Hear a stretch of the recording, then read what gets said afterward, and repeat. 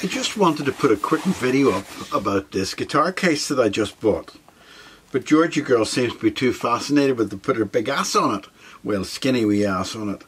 But anyway, I'll just show you what I can while she allows me. This came from Temu.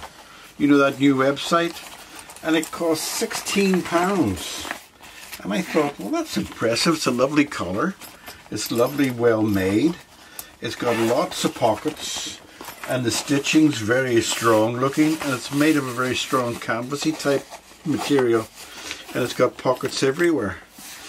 Georgie girl, could you just get off for a second? Don't, don't argue with me, right?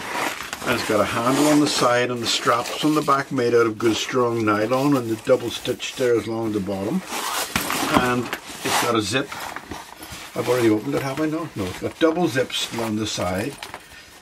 And so I'm only just doing this to let you see that for 16 pounds what you can get from Temu. That was my fault. Georgie girl, please. So I've got a guitar here just to fit in it. Look, fits perfectly with a Fender style guitar. And it's all padded inside.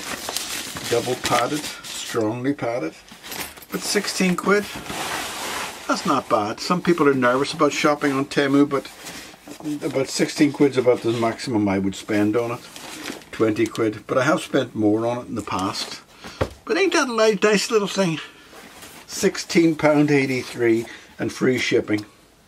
Now, would it last if you're going on gigging or something like that there? No, I don't think so. Probably would fall apart.